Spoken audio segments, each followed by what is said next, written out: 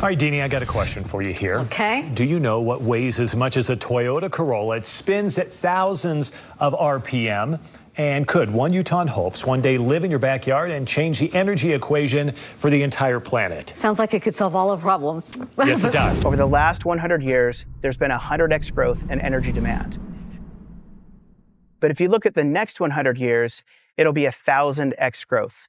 That's mostly driven by the electrification of HVAC, EVs, and the advent of AI. The mission of our company is to empower individuals and communities to become their own renewable energy provider.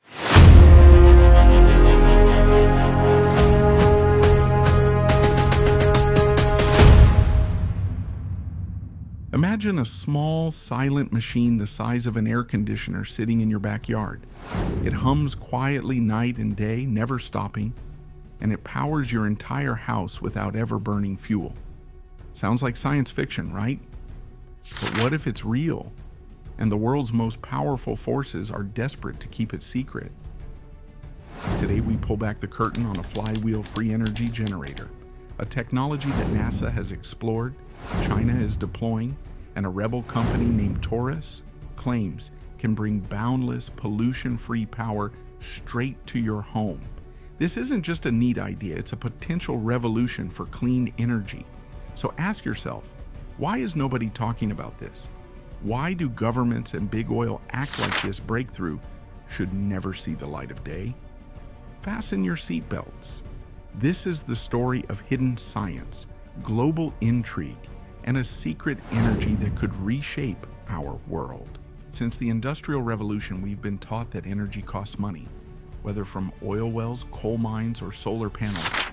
We pay bills to heat our homes and fuel our cars, and we hear in the news that the world might soon run out of cheap energy. But what if everything we think we know about energy is wrong? Picture a future where every home and car runs on a little machine that draws power from nowhere, or rather, everywhere. It's sort of like a pottery wheel uh, where a potter would uh, use the wheel, put energy in it by kicking it, and then as it spins, energy is coming out as he works. A device that keeps spinning and generating electricity without fuel, pollution, or limit. A free, abundant source of power, day in and day out, for every family on Earth. It sounds impossible, but clues point to just such a technology. An advanced flywheel generator that could yield virtually unlimited energy. Deep in NASA labs, top secret research centers, and even remote facilities in China, engineers have quietly experimented with flywheels, heavy wheels that spin at lightning speeds as alternatives to batteries. A modern flywheel in the right setup can store energy with almost zero loss and release it as electricity whenever needed. In theory, one could spin it up and let it run for years, delivering steady power. It shouldn't be this easy, except that some insiders claim it actually works. For decades, inventors have whispered about over unity generators, meaning they output more energy than they seem to consume, and magnetic motors that tap into a hidden field of power. Mainstream science scoffs at such claims, but other proof exists. NASA has built what it calls a mechanical battery and China has built a 30 megawatt flywheel power plant. Even a Silicon area startup named Torus says it has a mini power plant for homes. Why would these serious players invest if it were all nonsense? The answer, some say, is that truth itself is being suppressed. Think of it like a flywheel on steroids. These NASA flywheels have lifetimes of over 15 years and tens of thousands of cycles. They've even been combined with satellite attitude control systems. The same spinning motion that stores power also helps point spacecraft, cutting weight and complexity. So if NASA of all places takes flywheels seriously, why did the news barely mention it? Here's one theory. In space, it's about reliability, not free energy. But on Earth, that spin could power homes, cars, maybe even entire cities. And that changes the game. What if NASA's research could be adapted for everyday use?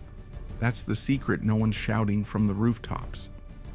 Ask yourself if NASA built this for satellites, do you think they also tested full scale generators on Earth? Was there secret experiments funded by classified budgets?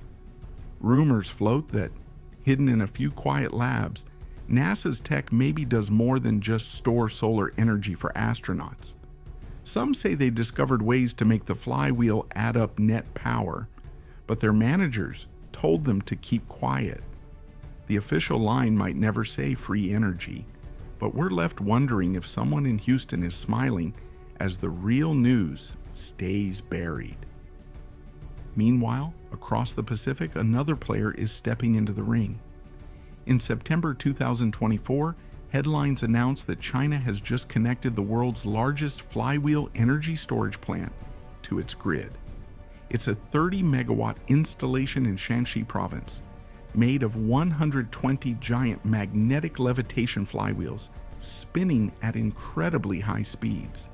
They call it flywheel storage, but if you look deeper, this is a bold move. Think about it 120 huge rotors, each spinning in a vacuum chamber underground, weighing tons connected to the power lines.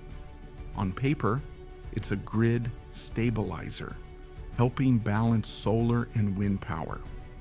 But experts wonder why would China invest so heavily in this if it were only for minor grid smoothing? Some conspiracy minded engineers whisper that the Chinese government sees this as just the public project, a cover for their real goal, which could be a much bigger free energy device. They're practicing with 30 megawatts on the official books while secretly working on something that could dwarf any battery farm. Contrast that with what's happening in the West. In the US, small groups of enthusiasts talk about flywheel generators in hushed tones. Universities have lab models, but so far nothing like a 30 megawatt installation. Some people wonder did Chinese spies grab stolen designs from secret labs? Or do they have an advantage because they're willing to fund crazy research that US corporations won't touch? What's eerily similar is that in both NASA and China's cases, official reports never call this free energy. It's always energy storage or grid tech. If either government told the truth that they're testing a near constant power source, it would trigger alarm bells in all the oil companies and politics worlds. So they quietly build these test beds, and the public gets only half the story. Enter Torus the startup and its mysterious mini power plant. On the surface, Torus looks like any modern energy startup. It makes equipment for microgrids and energy storage. Their website touts a unit about the size of an air conditioner that lets homes become their own little power plants. But if you scratch the surface, you find whispers and hints of something radical. Torus CEO Nate Walkingshaw even bragged in a blog that their mini plant is dead silent and never stops pumping out the kilowatt hours. Those aren't the words a mere battery company uses. Their write up reads like sci fi. No need for solar, wind, or hydropower, though it's ready to harness all three right out of the box. In plain English, this box keeps your house powered virtually non-stop, no fuel required. Imagine hearing that from a government scientist or a YouTube pseudoscience channel a small device that charges itself and powers you indefinitely.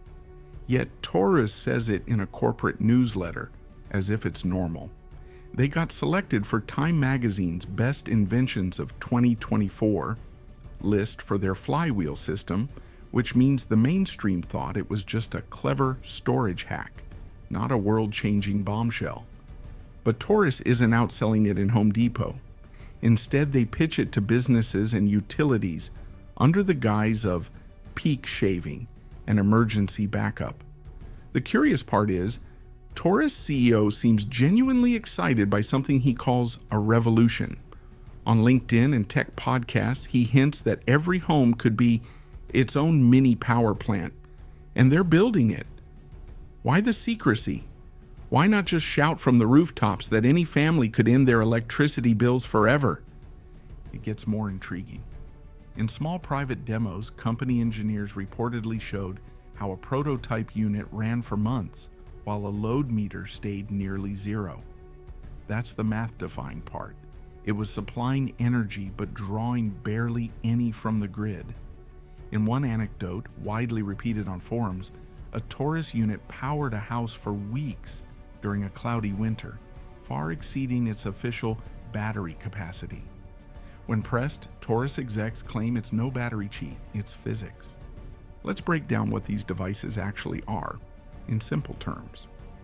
Underneath the marketing hype, a Torus like generator is essentially a heavy flywheel, rotor. Imagine a heavy metal disc or ring inside a box spinning really fast, tens of thousands of revolutions per minute. Magnetic bearings. The rotor floats on powerful magnets so it barely touches anything. This means almost no friction. Once spinning, it doesn't slow down quickly. Vacuum chamber. Often the whole flywheel sits in a vacuum, so air doesn't slow it either. Motor generator electronics. There's a motor generator attached. Electricity can be fed in to spin up the wheel, and conversely, when the wheel is spinning, it can turn the generator to produce electricity out. Power control unit.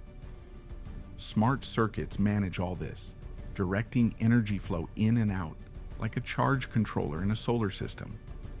Altogether, it's like a car engine that keeps spinning forever, but the fuel is the initial electricity that got it going. In practice, no real device generates more energy than it consumes. That would break physics. But get this these inventors claim they've found ways to come very, very close. They use ultra strong magnets and precision controls so that if you feed in a little energy to start, you can draw out nearly the same amount again and again with minimal additional input. To be clear, mainstream engineers will raise an eyebrow. The laws of thermodynamics say you can't create energy from nothing, and yet builders of these flywheel systems argue that almost no energy is lost in the process. Spin it up, and with magnetic levitation and perfect conditions, it can coast nearly indefinitely supplying power to your house with only occasional nudges to keep it going. It's like if you pushed your bicycle once and it rode itself around the block over and over without slowing. That's hard to swallow, but it's what the claims are.